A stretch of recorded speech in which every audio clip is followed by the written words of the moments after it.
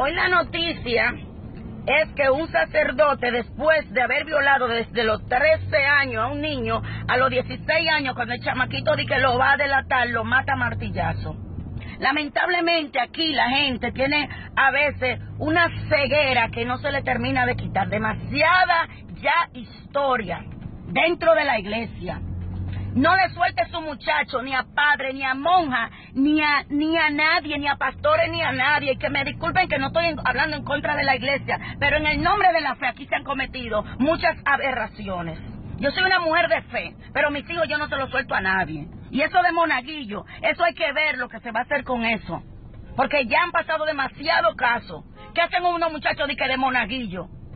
Si, si, usted no está ahí supervisando a su muchacho, no le suelte a su muchacho a nadie, que esta sociedad está en descomposición, ni hembra ni varón. No le suelte a su muchacho a nadie.